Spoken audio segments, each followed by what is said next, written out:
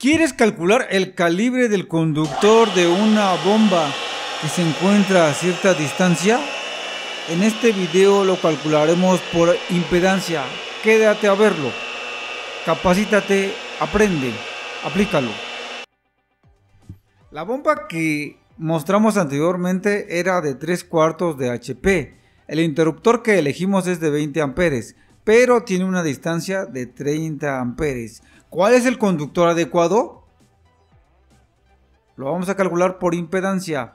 Entonces la bomba, su corriente es de 11.5 amperes. ¿Quién lo determina? La tabla 430-248 de la norma oficial mexicana de instalaciones eléctricas. Veamos, 3 cuartos HP nos dice que su corriente es de 11.5.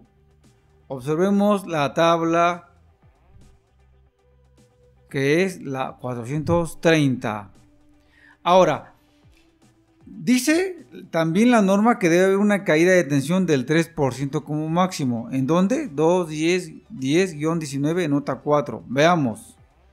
Artículo 210-19 nos dice que es máximo el 3%, que no debe de rebasarlo. En la nota 4. Esa es la caída de tensión máxima permitida por longitud.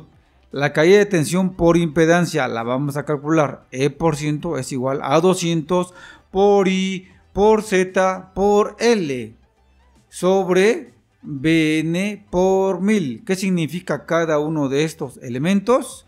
Y es corriente en amperes. Bn es tensión entre fase y neutro, 127 volts. Z es la impedancia del conductor en ohm y E por ciento sería la caída de tensión en por ciento. Ahora Z es ohms por kilómetros. Para el calibre del 14 9.25, para el 12 6, para el 10 3.63, para el 8 2.39 y así sucesivamente. Recordemos, para el 12 su impedancia es 6 Sustituimos en el por ciento 200 por 11.5 que es la corriente, por 6 que es la impedancia y por 30 que es la longitud. Sobre 127 que es el voltaje por 1000 de acuerdo a la fórmula. Multiplicamos 200 por 11.5 por 6 por 30 nos da 414.000.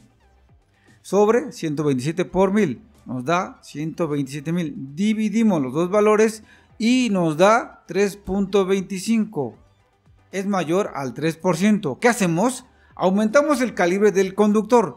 La Z, la impedancia, ahora va a ser 3.63. Sustituimos. Esto es igual a 200 por 11.5 que es la corriente, por 3.63 que es la impedancia, por 30 que es la longitud. Nos da el valor de arriba sobre 127 por 1000. Nos da el valor de abajo. Al dividir nos da la caída de tensión de 1.97%. Entonces, para una bomba de 3 cuartos de HP con una distancia de 30 metros, el cable adecuado es del número 10. Recuérdenlo que lo calculamos por impedancia. Aplícalo para la hora que quieras conectar una bomba y mira su longitud. Te esperamos en el próximo video capacítate, aprende y aplica lo que has aprendido. Coméntanos si te ha gustado el video o si tienes alguna duda. No te olvides darle like, suscribirte y activar la campanita para que recibas notificaciones de nuestros nuevos videos.